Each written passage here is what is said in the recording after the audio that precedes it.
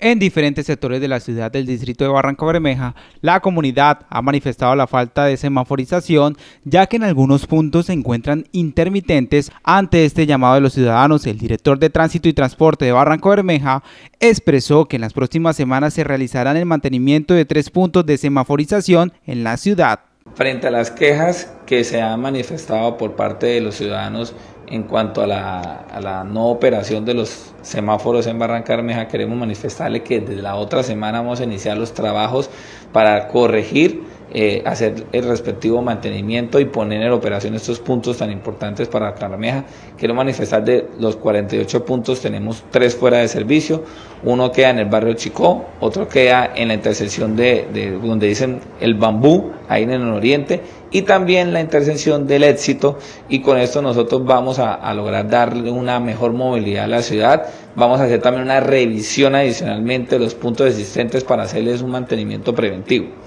Pedimos excusas de antemano a los barranqueños por los inconvenientes que podamos haber causado en temas de movilidad en estos sectores y que evidentemente eh, les pedimos que cuando estén por estos cruces semafóricos tengan la precaución de mirar a ambos lados mientras se hacen las labores de mantenimiento y operación de estos puntos. Asimismo, Angarita recomienda a todos los conductores de tener la precaución al transitar por estos tres puntos, observando los diferentes sentidos para evitar cualquier accidente de tránsito en el puerto petrolero.